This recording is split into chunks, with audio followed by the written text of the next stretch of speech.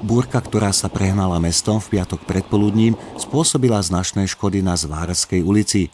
Obrovský konár neodolal náporu vetra a padol na odparkované autá. Ako vidno aj na záberoch, dve z troch vozidiel boli vážne poškodené.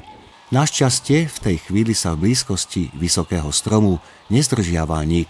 V blízkosti je totiž cesta aj chodník a toto miesto je jedným z obľúbených miest na hranie tam žijúcich detí.